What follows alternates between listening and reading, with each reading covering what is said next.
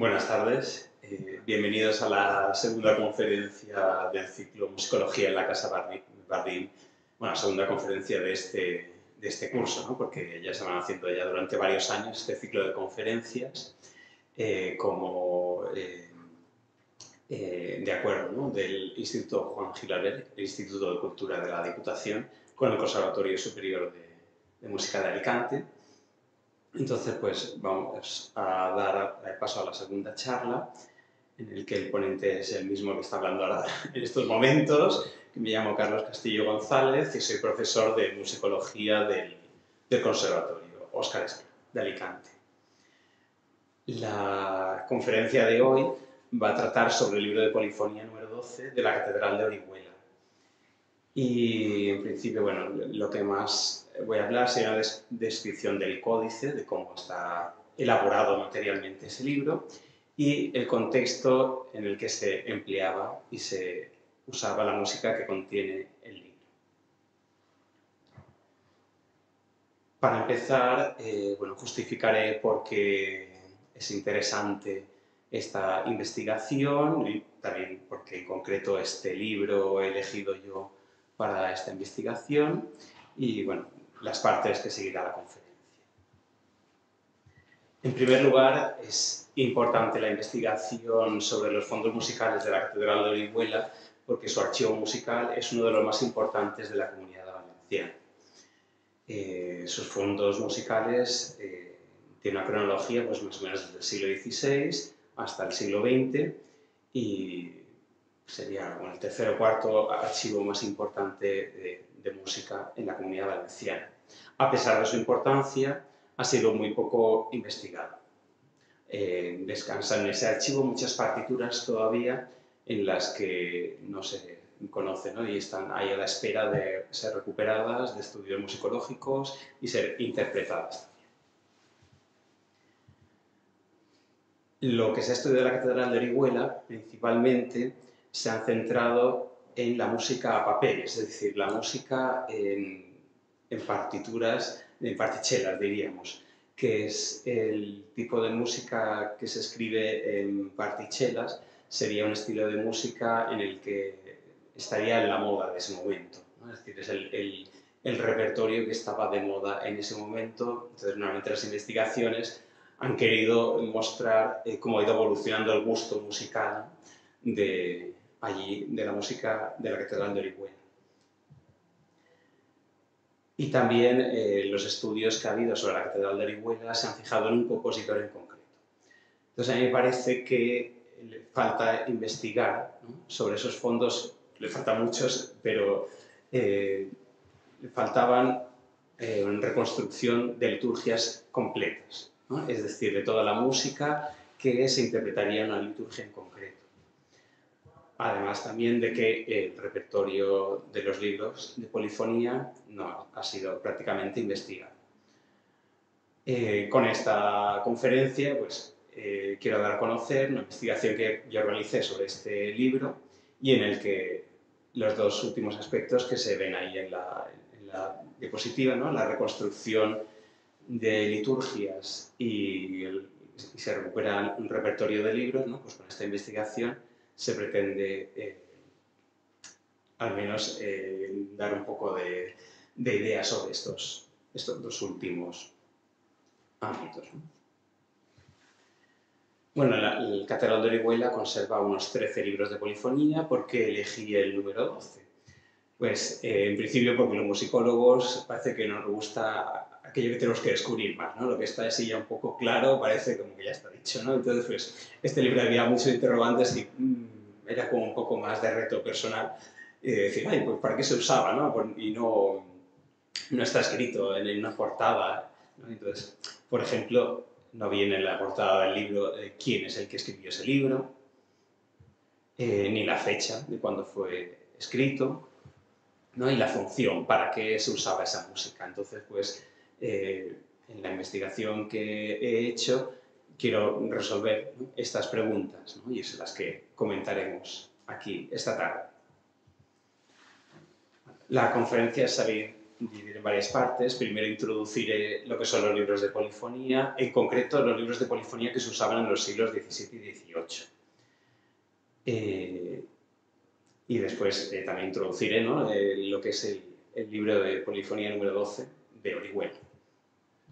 Después detallaré, ah, bueno, daré algunos detalles sobre el códice, sobre el material eh, sobre el que está construido, ¿no? sobre está elaborado este libro, las ceremonias en las que se usaba la música que contiene el libro y unas conclusiones, que en esas conclusiones pues, podremos dar eh, respuesta a esas preguntas que hemos planteado al principio, de la autoría, de la fecha y la función del libro. Pues empezamos con la primera parte, la introducción a los libros de polifonía. Y como he dicho, pues primero, en general, los libros de polifonía que se eh, podrían usar en España en los siglos XVII y XVIII. Porque los libros de polifonía eh, se usaron durante más siglos, pero bueno, yo me he centrado en los siglos XVII y XVIII, que son los que se conservan en la Catedral de Orihuela. Entonces, empezamos eh, primero con los libros en general que estos libros, lo primero es que se colocaban en un facistol. Un facistol es una especie de atril muy grande que se colocaba en el centro del coro de las catedrales o las colegiatas, iglesias importantes. Ahora, después veremos algunas imágenes de facistoles. Para interpretar toda la capilla de música, es decir, todos los músicos de la catedral eh, interpretaban delante de él. Entonces, pues, eh, el libro tenía que ser tiene que tener un tamaño suficiente para poderlo leer a una distancia más o menos considerable. Es decir, cuando uno interpreta desde una partitura, seguro que lo va a, eh, tiene la partitura más cerca que los músicos que interpretaban de los libros. De los libros, como son muchos mirando del libro, pues al final alguno estaría más lejos, pues los libros tienen que ser bastante grandes. En cuanto a la música que contienen los libros, eh, es un estilo de música que no sería como el más de moda de los siglos XVII y XVIII, sino más bien un estilo de música eh, que era el de moda en el siglo XVI, más o menos. Eh, más o menos nos referiremos a este estilo de música como estilo antiguo, ¿no? estilo antiguo. Una manera de componer a la manera del siglo XVI. ¿Qué obras, a la manera del siglo XVI, pero pueden ser obras mismas del siglo XVI, ¿no? de compositores importantes en España, como los clásicos eh, Morales, eh, Cristóbal Morales, Francisco Guerrero, Tomás Luis de Victoria, o el compositor por excelencia italiano del Renacimiento, que fue Giovanni Pierluigi da Palestrina. Bueno, los libros pueden contener esas obras del siglo XVI, pero además también podían contener eh, repertorio creado en los siglos XVII y XVIII, en el que los compositores de esos siglos, de los XVII y XVIII, imitaban a los eh, compositores del siglo XVI, ma non troppo, es decir, no, del todo eh, es exactamente igual la composición del siglo XVI. Es una imitación, pero no exactamente, exactamente igual. Bien, vamos a ver unas imágenes para situarnos. Aquí he puesto el facistol de la Catedral Nueva de Salamanca, en el que, bueno, pues los fascistoles eh, podían, eh, se podían, o sea, le podían colocar los libros de polifonía, como es el que vamos a hablar hoy, y los libros de polifonía eh, se, se, colocaría la capilla de música delante. Pero también los fascistoles se colocaban también libros de canto gregoriano, en los que tenían que interpretar pues, todos los, el cabildo de la catedral, que estaban sentados en estas sillas, de aquí del coro que vemos, entonces, como el cabildo estaba muy lejos, pues esos libros de canto que cantaba todo el clero de la catedral, eran más grandes que los libros de polifonía, porque tenían que ver el cabildo y todos estos tenían que ver eh, esa música de una distancia eh, más lejos que, los músicos profesionales. Bueno, he puesto así ejemplos de varias catedrales para que es algo habitual en todas las catedrales de España concreto, este es un ejemplo de la Catedral de Segovia y bueno, pues hay un libro ahí colocado en el facistol, que se puede ver más o menos pues, eh, el tamaño ¿no? que tienen estos libros. Los facistoles se ven grandes, pues los libros también son de un tamaño bastante grande. Esta imagen sería de la Catedral de Sevilla, está extraída del facistol de la Catedral de Sevilla, que es un facistol elaborado, construido en el siglo XVI, y bueno, tiene varios medallones, este facistol, y en concreto hay uno que muestra a la capilla de música cantando delante del facistol. Esta, hay muchas imágenes, bueno, muchas, hay bastantes imágenes que se representa la capilla de músicos delante del facistol y en todas eh, coinciden que todos los músicos están como muy juntos para interpretar, poder ver el libro. Aquí podemos ver en primera fila pues, unos niños que leen las voces más agudas, eh, los adultos están detrás, van a tocar obviamente a los niños y bueno, los tienen ahí un poco sujetos para que no se muevan mucho, pero siempre se ve a un adulto que está ahí como sujetando a, a los niños. Entonces, bueno, pues es una manera de interpretar que es muy alejada de lo que normalmente los grupos de música de, de, música renacentista eh, suelen hacer. Estamos habituados a los grupos de música renacentista que se colocan en una forma de semicírculo, todos muy alejados, cada uno con sus partituras individuales, pero en la época pues no sería así. ¿no? Estaban todos juntos mirando el facistol. Además que eh, tendrían también una colocación en concreto porque cada una de las voces de las melodías estaba colocado en un lugar eh, concreto del libro que ahora después A pesar de que en la actualidad lo habitual sea la, colocación eh, moderna de, un coro, de un grupo de cámara para interpretar música del Renacimiento, hay grupos en los que intentan eh, interpretar la música imitando a lo que era habitual en el siglo XVI. Vamos a ver un pequeño vídeo en el que un grupo de Praga, la Capilla Pratensis, está interpretando una música, bueno, es de Renacimiento, del siglo XV, de Guillaume Dufay, y están colocados delante de un facistol, todos mirando una partitura. En este caso también con la partitura es connotación del siglo XVI. Claro, para mirar todos del mismo libro y han querido reconstruirlo hasta la manera de cómo escribían música. Vamos a verlo y escucharlo y después comentamos algo más del vídeo.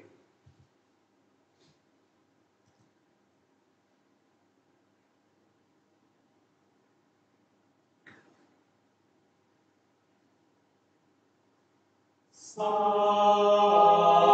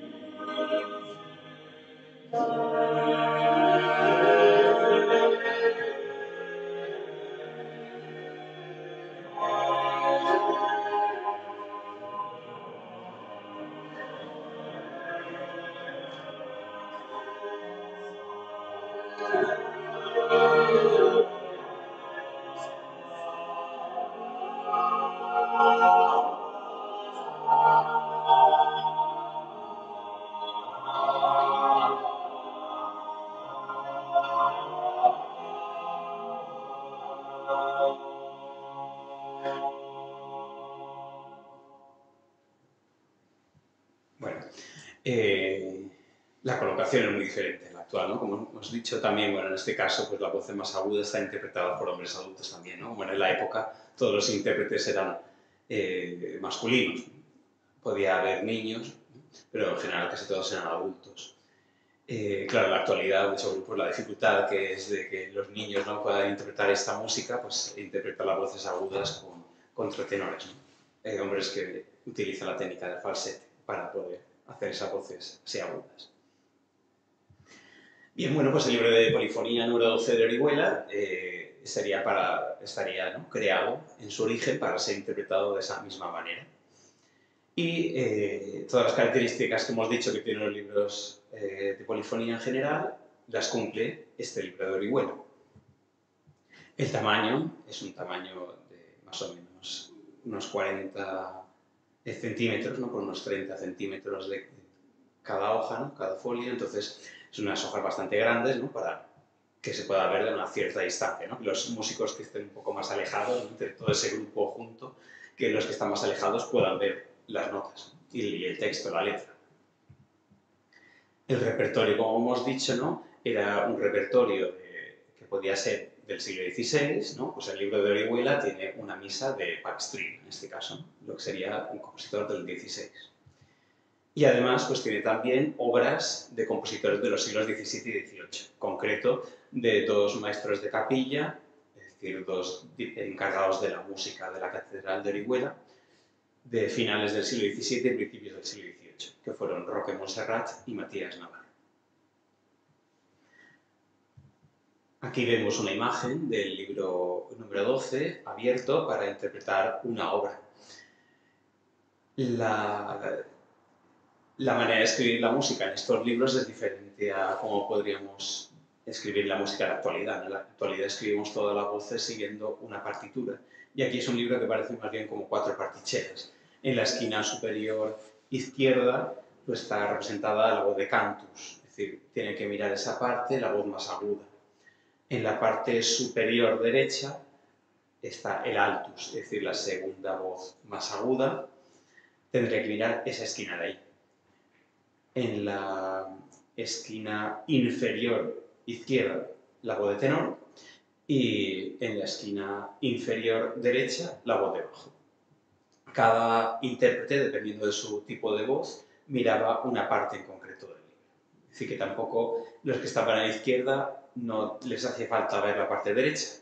Y pues, entonces esto era un poco para, eh, para poder hacer, hacer posible la interpretación, porque al estar todos juntos, si estuviese con las partituras actuales, seguramente que habría partes que un intérprete no podría ver.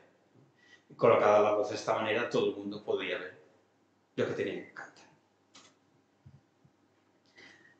Eh, en cuanto al estado del libro, pues el libro fue restaurado en el año 2003 con la exposición que hubo de la luz de las imágenes en Orihuela y a pesar de, por tanto, de conservarse bien, el libro no se conserva completo. Es decir, hay unas obras que no están completas. Entonces, pues, eh, miré a ver si en las descripciones más antiguas del libro se podía saber qué es lo que había en esas partes que faltan, para ver la composición original del libro, cuántas obras tenía en realidad. Entonces, de, consulté descripciones anteriores del libro, que serían los catálogos que se hicieron en el siglo XX del Archivo Musical de Orihuela concreto de principios del siglo XX el catálogo de Carlos Moreno Soria, un maestro de capilla entonces de la Catedral de Orihuela, y el catálogo ya realizado en tiempos más eh, modernos, prácticamente finales del siglo XX, de José Clemente Barbero. Vamos a comparar la diferencia de la descripción de estos dos catálogos parece ser que la descripción del siglo XX, de principios del siglo XX de Carlos Moreno, el libro estaba completo, porque viene con unas tapas y prácticamente todas las obras que se conservan en la actualidad, eh, excepto la primera.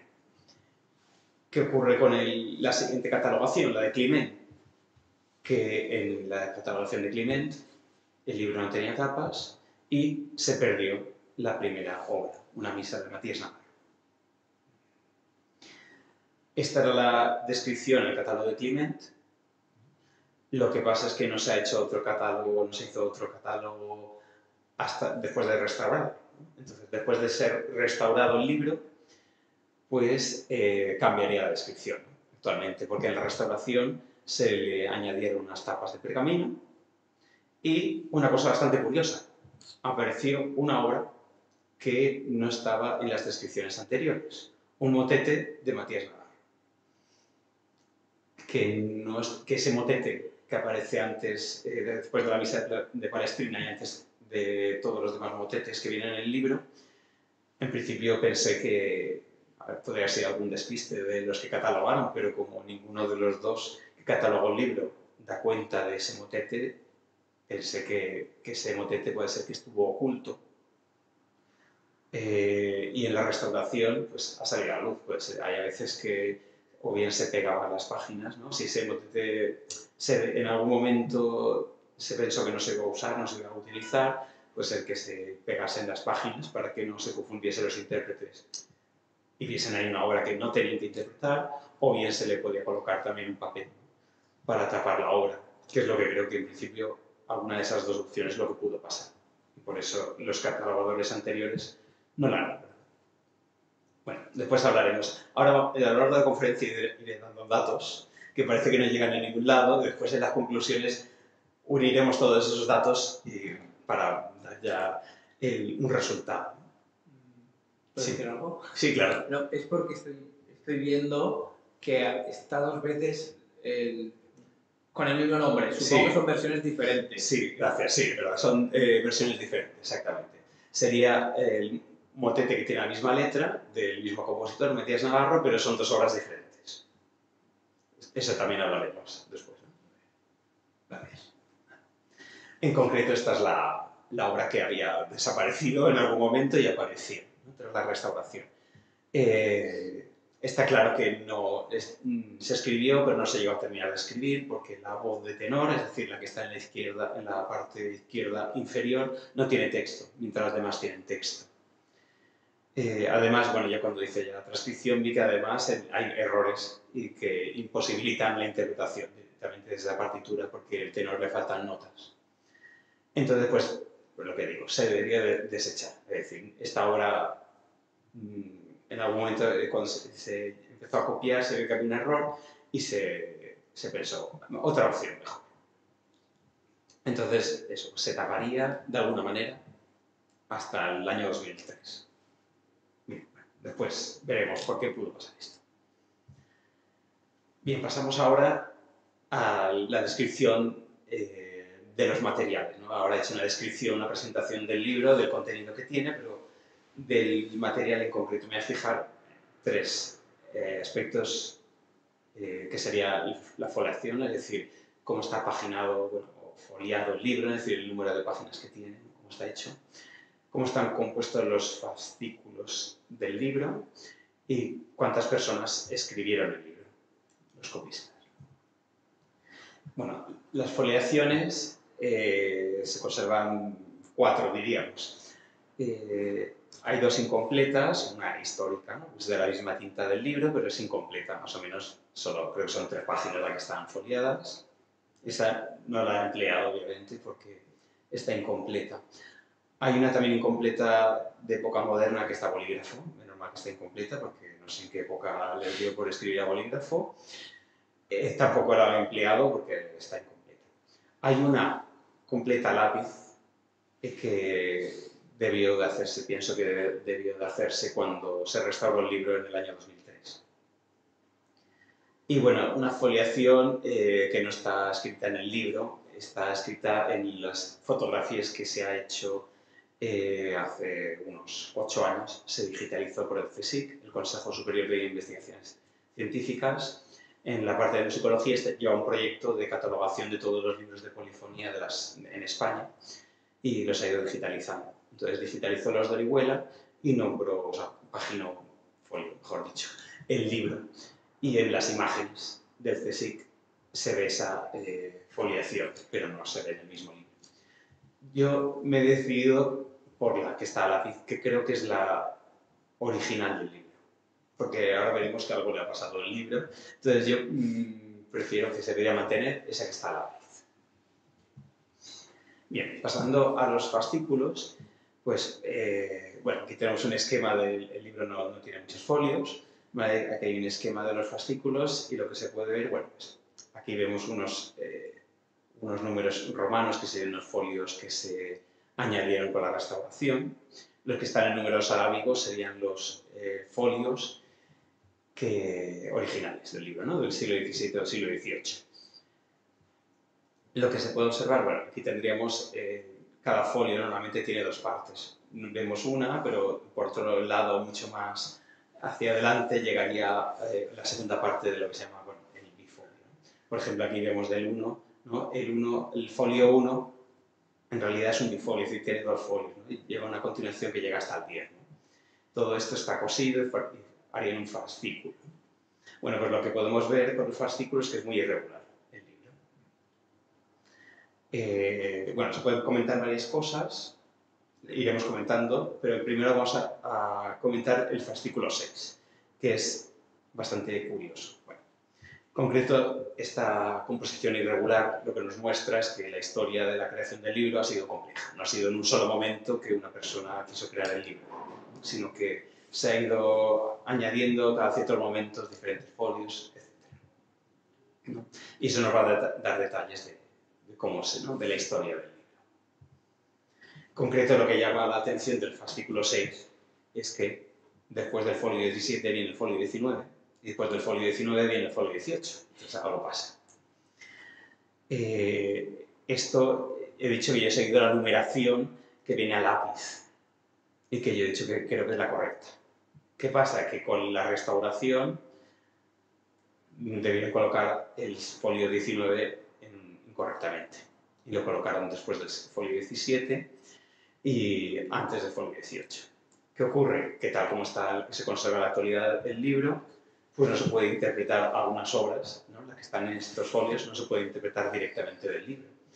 Porque podemos ver que aquí tenemos el verso del folio 17, que empieza una obra, Egos un panis vivus, y en la voz de Cantus ¿no? empieza esta obra, en la voz de tenor también empieza esta obra, pero en la parte derecha debemos tener el principio de posum panis vivus en las voces de altus y basos, y no tenemos el principio del motete, tenemos el final. Porque, como he dicho, pusieron del folio 17 han puesto al folio 19. Por lo tanto, aquí no se puede interpretar como hemos visto en el vídeo. Los músicos tienen partituras diferentes a la misma.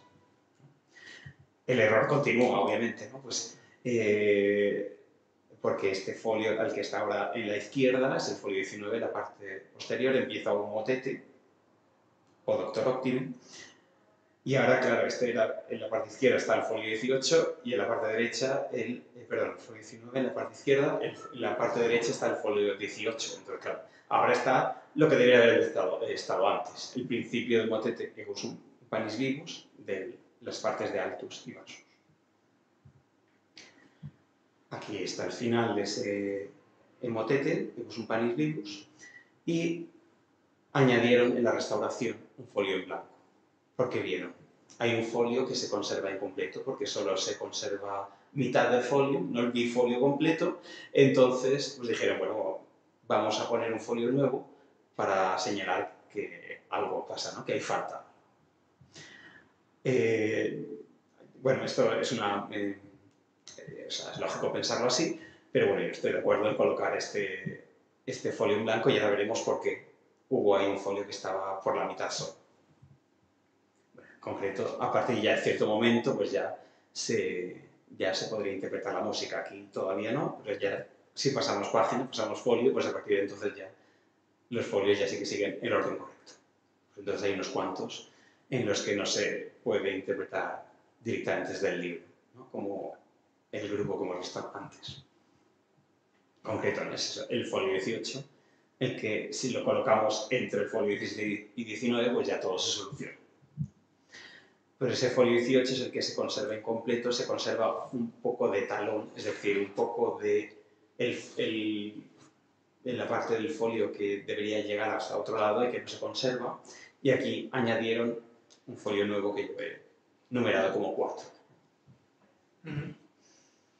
Entonces yo lo que creo es que antes de la restauración, pues debería estar los folios en el orden correcto, 17, 18, 19 y 20. El 18 estaría incompleto. Lo que pasa es porque con los folios que están numerados a lápiz, que estaban numerados a lápiz, todo concuerda y todas las obras se pueden interpretar.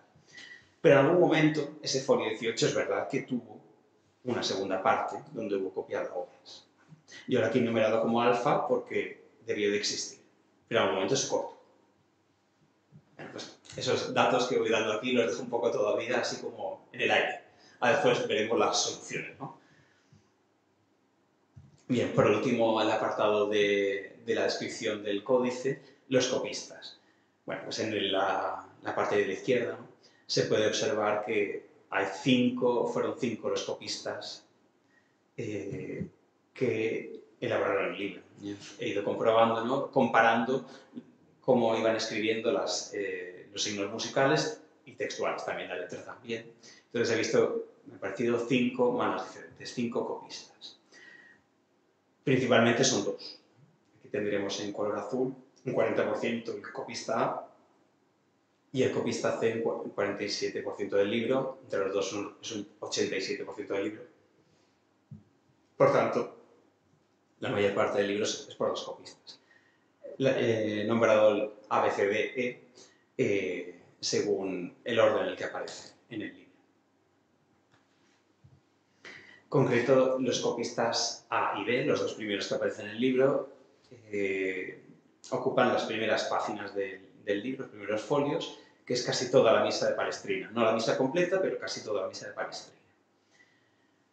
La mayor parte es por el copista A y el copista B simplemente lo que hizo fueron algunos arreglos. Es decir, algunas páginas que en determinado momento se conservaban mal y eh, se procedieron a arreglarlas. Aquí no sé si aprecia muy bien, pero en la parte inferior derecha se ve un remiendo. Se puede ver un poco de diferencia de color y, bueno, no sé si más o menos se ve la diferencia de escritura, pero sí. Esta parte, esta esquina inferior derecha es normal que se conserve peor, porque es la parte donde pasan páginas. Entonces, claro, pues esos libros antiguos en esos pasos de páginas se veían nuevamente más sucias. Se borra más la música, pues esa parte es habitual que, se conserve peor. Pues, en el siglo XVIII, en algún momento, dijeron, vamos a arreglarlo porque esto de aquí ya no, no se ve bien la música. No puede identificar ninguno de los dos copistas, aunque el copista B eh, sí que elaboró otro libro de polifonía de la Catedral de Orihuela, pero en ninguno de los dos libros dice quién fue ese copista. El copista C, que sería el copista que más escribió el libro, ¿no? que más parte escribió del libro, escribió el final de la misa de Palestrina y después casi todos los motetes de Rocco Monserrat. Que, si nos hemos fijado antes, casi todos los motetes que se conservan eran de Rocco Monserrat, excepto dos de Matías. Puede ser que el mismo copista fuese Rocco Monserrat, ese maestro de capilla de Orihuela, en que otras obras suyas en otros libros también están escritas con la misma caligrafía, por lo tanto, parece ser que puede ser que fuese. Pues bueno, el copista B pues sería eh, el que copió esa partitura que estuvo oculta. Hemos dicho que fue un motete de Matías Navarro, que tampoco sé quién podría ser, no coincide con la escritura de Matías Navarro. Y el último copista, el copista E, el que sí que fue Matías Navarro, porque Matías Navarro escribió varios libros de polifonía en la Catedral de Orihuela y eh, coincide esa escritura con la de estas obras, estas hojas de, del libro de polifonía número 12. En concreto, copia la segunda vez del segundo concerto tuba de Matías Navarro, es el concerto tuba que, eh, que, está, que ese no estuvo oculto, que estuvo siempre presente en el libro, y también las partes cercanas de motetes de, de Roque Monserrat, del motete anterior y el motete posterior a esta obra de Matías. Una vez que hemos hablado de estas partes del códice, cómo estaba elaborado, eh, vamos a hablar cuándo se usaba este libro. Eh, todos esos datos de, que llevamos del códice los dejamos ahí un momento en la mente, pues ya los retomaremos. Bien, bueno, pues el libro, como el, las primeras páginas eh, no se conservan, pues no se conserva, no sabemos si hubo en algún momento alguna portada que nos explicase cuándo se debía emplear este libro. Entonces, para saber cuándo se podía eh, emplear esta música, pues he empleado dos fuentes principales. El libro verde, del año 1712, que es un libro que se conserva en la Catedral de Orihuela, que es la consueta litúrgica, es decir, un libro donde se explica todas las ceremonias eh, cómo se tenían que celebrar las celebraciones litúrgicas en la Catedral de Orihuela. Y da mucha información sobre la música. tiene las tapas de color verde, por lo tanto era conocido como el libro verde. Y después otro libro que explica las celebraciones religiosas en general eh, de cada año del obispo Juan Elías Gómez de Terán, que fue obispo de Orihuela. Entonces, bueno, esto es un libro impreso que se conserva en más lugares. Eh, en, cambio, el libro verde es un libro único de la Catedral de Orihuela. Bien, bueno, pues lo que hice, digo, bueno, pues vamos a ver si estas obras, ¿no? Vamos a ver los géneros que hay en el libro del número 12, donde, eh, en qué celebraciones del libro verde podrían estar incluidas. ¿Qué ocurre? Que en el libro verde eh, pues hay muchos momentos en los que se podía emplear una misa de palestrino. Decimos que es una misa a cuatro voces en estilo antiguo, del siglo XVI. Hay muchos momentos, por lo tanto, la misa no nos da muchas pistas. En cambio, el libro verde nombra muy pocas veces eh, que se tienen que interpretar motetes a cuatro voces. Y eso es lo que dio la pista para saber cuándo se empleaba este libro una de las pocas veces en que se nombra que debía eh, cantarse motetes a cuatro voces son las rogaciones menores. ¿Y qué son las rogaciones menores? Pues no es una celebración conocida como puede ser la Navidad, la Pascua y demás. Una festividad que actualmente mm, ha cambiado un poco en la liturgia actual, por lo tanto no es tan conocida. Entonces fui a el libro del obispo de Orihuela, ¿no? de Gómez de Terán, y a ver qué explicación daba sobre las rogaciones menores y qué era esa celebración.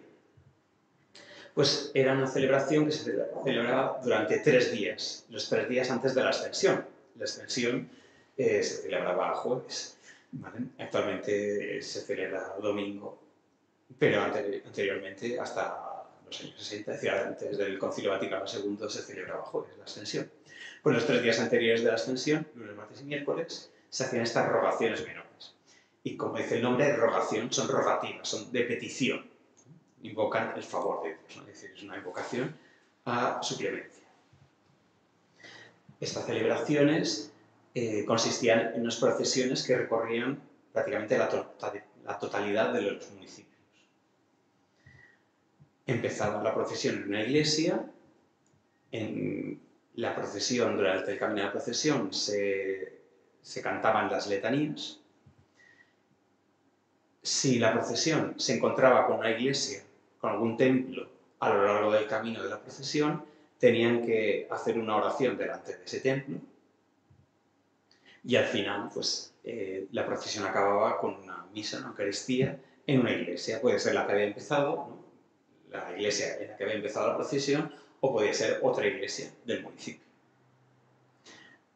El libro verde de la Catedral de Orihuela describe las rogaciones menores de la misma manera, lo que pasa que detalla en concreto en la ciudad de Orihuela por donde iban pasando esas procesiones. Musicalmente dice ¿no? pues que se cantaba la letanía. La letanía lo que parece ser es que se interpretaba de manera improvisada. El, el sochantre, es decir, el responsable del canto llano, empezaba a entonar y la capilla, los músicos profesionales respondían, pero con una polifonía improvisada, por favor. Obviamente, al ser improvisado, pues no se conserva eh, cantos de las letanías, ni en el libro ni en el libro número 12 de polifonía, ni en ningún otro libro de la Catedral de Orihuela. Es una polifonía improvisada.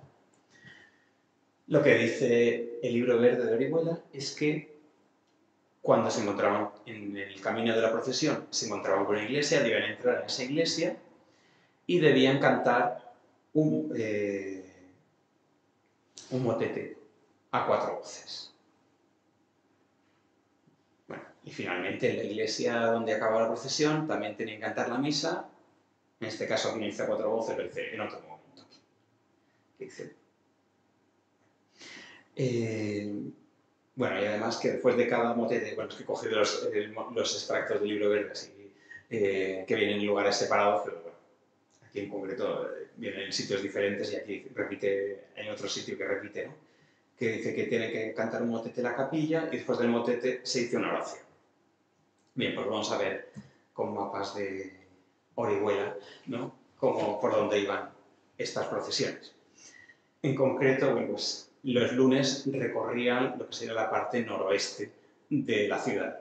Salían de la catedral, aquí nombrada con el número 1, y se dirigían hacia la izquierda aquí en el mapa, que, y pasaban por el convento del Carmen. Y ahí pues tenían que entrar, eh, cantar un motete y hacer una oración. Salían de, esa, de ese templo y se encontraban eh, dentro de poco tiempo, ¿no? Se encontraban con otro eh, templo que sería, bueno, era un hospital, pero que el hospital pues, tenía también una iglesia. Ahí también tenían que entrar, cantar el motete y hacer oración. Y por último, el lunes acababa la procesión con la misa en, el, en la iglesia de Santiago. En este caso, en Orihuela, empezaba la procesión en la catedral y acababa la procesión en otra iglesia diferente, la iglesia de Santiago. Por lo tanto, en este, día, el lunes, eh, la capilla tiene que estar dos motetes, en el convento de Carmen y en el hospital.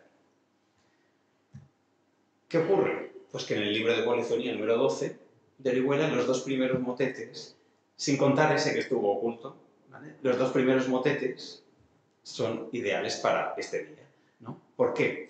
Porque el convento del Carmen, donde se hacía la primera estación, es, el patrón del convento era San Pablo.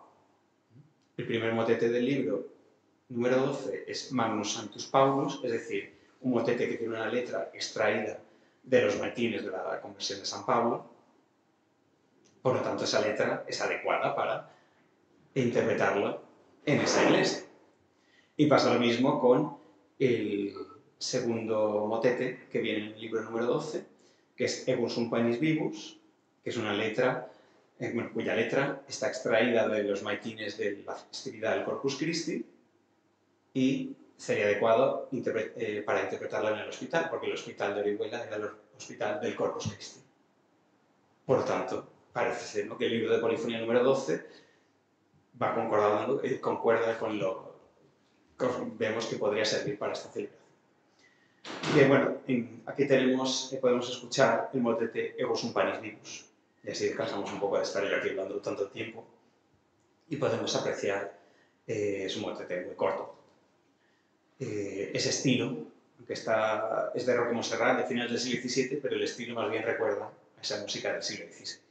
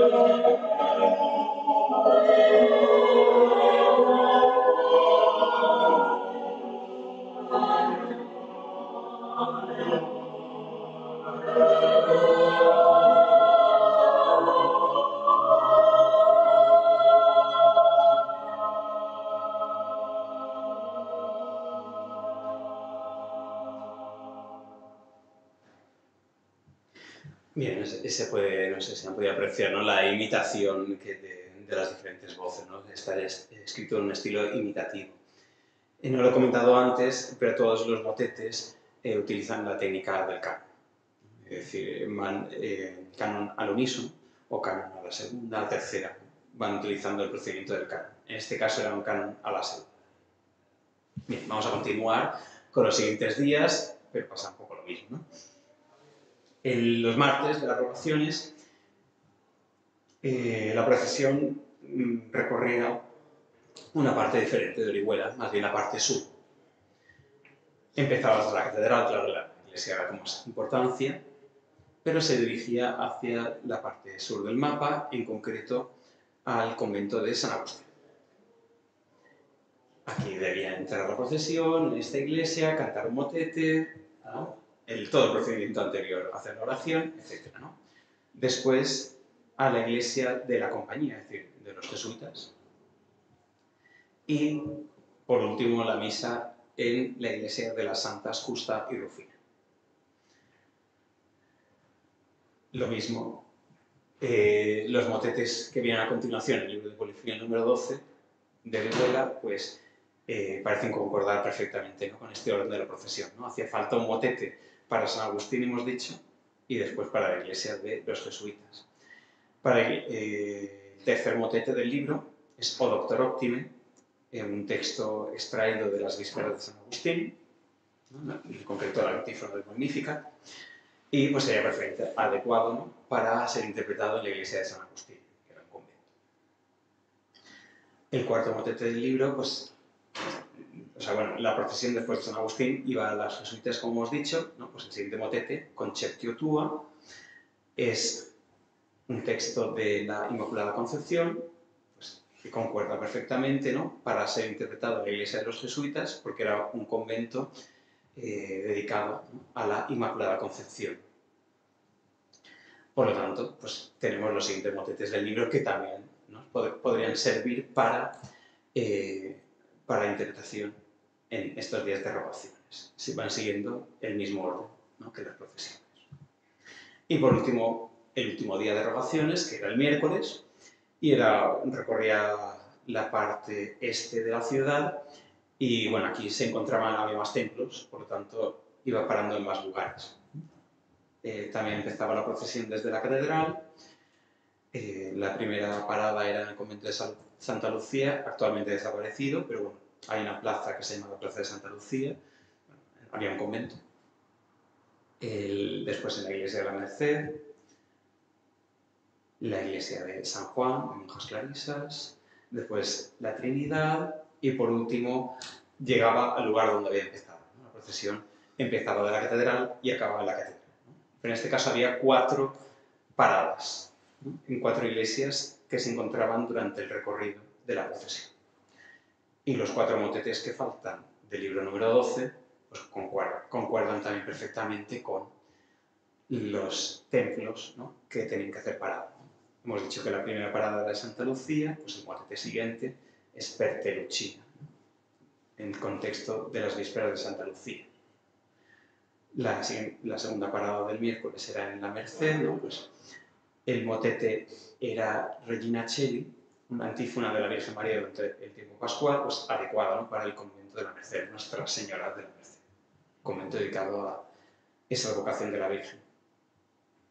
Como las rogaciones eran celebradas en tiempo pascual, pues eligió, que ese texto de la antífona durante el tiempo pascual rellenache.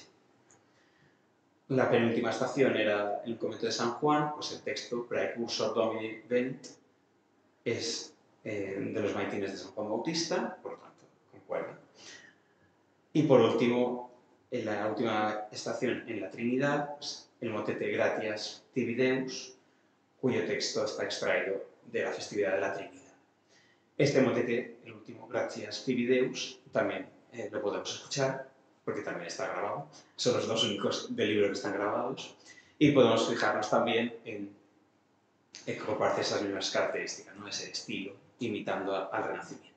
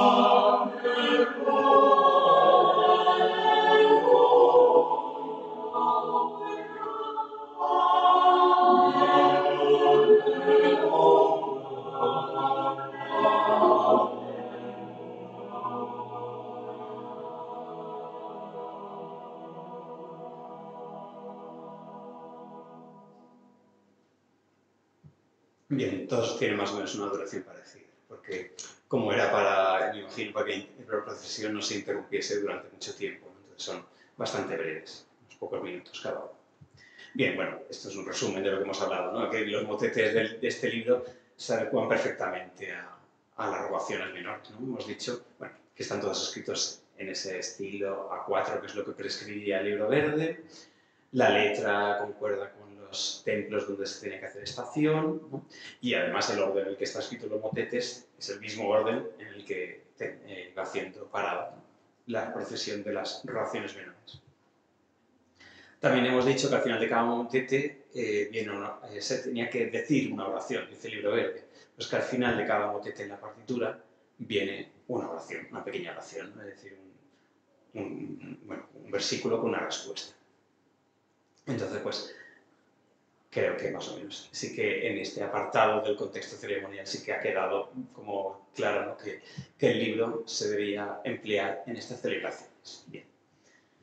Pues ya para acabar, para no ir, ya, eh, vamos a unir un poco estas informaciones que hemos tenido tanto en, en el, la descripción codicológica como en el contexto ceremonial para ver, ¿no? es decir, resolver esas incógnitas que hemos dicho al principio de cuándo pudo ser escrito, ¿no? eh, por quiénes. Y bueno, y al final también diré cosas que quedan todavía por investigar en el libro. Bien, pues como os he dicho, para reconstruir la historia del libro, la fortuna sería como esa eh, vida histórica que tuvo el libro.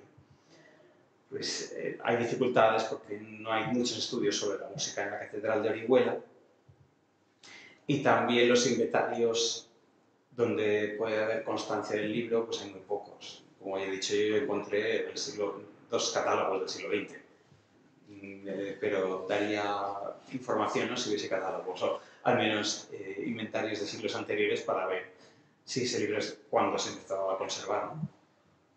cuándo se empezó a emplear. Bien, por lo tanto, yo para ver el recorrido histórico del libro, pues, eh, los datos los he obtenido de ese estudio codicológico y del ceremonial, como hemos dicho. Por tanto, el origen del libro creo que más o menos debería estar a mediados del siglo XVII y con estos el fascículos tercero y cuarto en el que se conserva casi toda la misa de Palestrina y que pues, seguramente debía pertenecer a un libro de polifonía anterior. ¿Por qué? Porque es el libro, en la única parte del libro que tuvo que ser eh, remendada, ¿no? es decir, tuvo que ser eh, restaurada en el, siglo XVIII. Eh, hemos visto antes un ejemplo, ¿no? en una esquina, ¿no? que que tuvo que añadirse para que por el desgaste, ¿no? se tuvo que añadir música, pues solo en esta parte de los folios 1 al 12, que está casi toda la misa de Palestrina, es el momento del libro en que se tuvo que hacer eso. Por lo tanto, es una parte del libro que se usó más, por lo tanto, debe ser más antigua. Eh, bueno, hay folios que también no se conserva la, la otra mitad, ¿no? el 11 y el 12, son, no se conserva el bifolio completo, ¿no? la continuación del folio. Y bueno, está todo escrito por un mismo copista. Por lo tanto, esto, mediados del siglo XVII más o menos, se debe hacer esto. Este libro es solo la misa de Palestrina, se pudo usar para grabaciones menores o no, no se sabe. Pero bueno, tal como se conserva actualmente el libro, una primera fase sería durante el magisterio de Rocco Serrat desde 1676 a 1691. Este maestro tuvo que componer música para las grabaciones menores entonces debió de pensar de elaborar un libro ligero, muy pesado, con pocos folios, tanto para la misa como para los motetes, para las estaciones. Como el, lunes y martes hemos dicho que no acababa en la catedral, el libro se lo tienen que llevar, bueno, se lo tienen que llevar a la procesión para los motetes, pero además también tenía que tener la misa porque iban a acabar en otra iglesia, no en la, catedral, el lunes y el martes. Reutilizó la, la misa de Palestrina añadió los folios que le faltaban a la misa y compuso, eh, compuso bastantes motetes, excepto con Tua, que era de Mateo bueno, los dos con Chip Tua eran de Matías Navarro, eso es uno de los dos. Obviamente, pues no lo hizo Roque Monserrat. Y pues seguramente lo copió ese mismo, ese mismo maestro. Una segunda fase del libro llega con el, maestro de capilla siguiente, que fue Matías Navarro, el maestro de capilla del 1692 a 1727. ¿Qué ocurre? En, eh, pues que los jesuitas llegan a Orihuela en 1696. Es decir, los jesuitas eran una estación, ¿no? Como hemos dicho que tenía que ocurrir el martes. Claro, Roque Monserrat, si no estaba esa iglesia, no tenía que haber compuesto un motete para los jesuitas. Pues eh, eh, Matías Navarro sí, de repente, ¿no? Llegan allí, hacen su iglesia, por lo tanto, ese día él se ve obligado a componer un motete para cuando la procesión pase por ese nuevo templo. ¿Qué ocurrió? Yo creo que tuvo una primera idea de componer un motete con Tua, pero esa idea la rechazó. Esa fue la que, versión que yo creo que ocultó.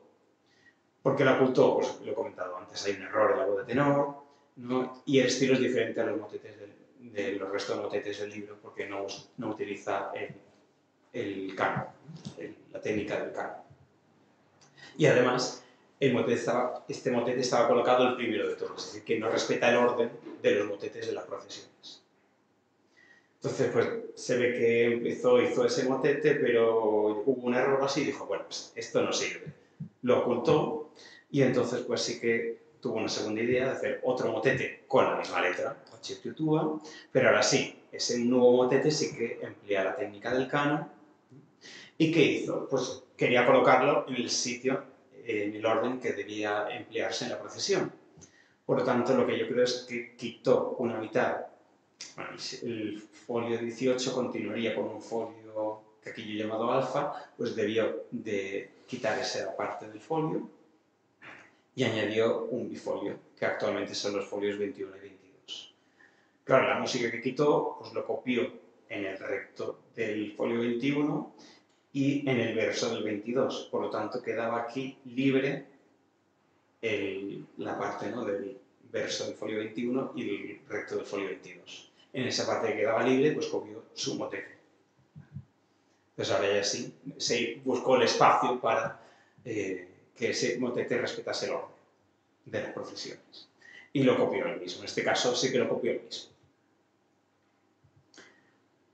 Puede ser que añadiese también una misa al principio del manuscrito. Esta misa la he nombrado solo al principio, porque el hecho que en el catálogo del siglo XX, principios del siglo XX, Carlos Moreno dice que hay una misa este confeso de Matías Navarro al principio del libro, pero actualmente no se conserva. Puede ser que entonces la, la añadiese, pero como actualmente no se conserva tampoco se puede estudiar, obviamente. Bueno, no hay, a pesar de que el magisterio de Matías Navarro sí que está estudiado con bastante profundidad, eh, no hay datos en las, en las investigaciones que digan todo esto, pero obviamente con las muestras del libro nos indican que debió realizar estas obras en el libro, estas labores. Bueno, y ya, bueno, pues a lo largo del siglo XVIII, incluso el siglo XIX, el libro podía eh, seguir empleándose y se ven que los intérpretes añadieron líneas divisorias porque eh, facilitan la, anotación del que está escrita el libro, no tiene líneas divisorias, pero eh, cada de los intérpretes pues, veían más necesario añadirlas para aclararse a la hora de interpretar.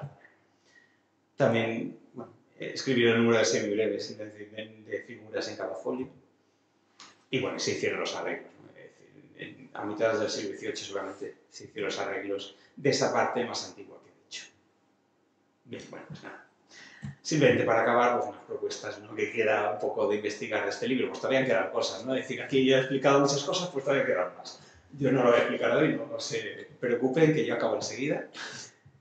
Y nada, bueno, faltaría un análisis musical de esas obras. Yo he nombrado alguna característica muy general, pero en eso ando actualmente, ¿no? pues analizando ese estilo que imita ese estilo antiguo, ¿no? esas obras, sobre todo los motetes que están compuestos en los siglos XVI y XVIII, imitan la polifonía del siglo XVI, pero no del todo exactamente, ¿no? Mantro. Y bueno, pues queda interpretar y difundir esta música, porque bueno, he puesto las únicas grabaciones que se conservan del libro, que se hicieron con la eh, exposición de La luz de las imágenes en 2003, pero el resto del libro pues no se, se ha interpretado. Entonces, pues, en eso también, más o menos, eh, también estamos aquí en camino. Bien, bueno, hasta aquí era lo que yo quería comentar.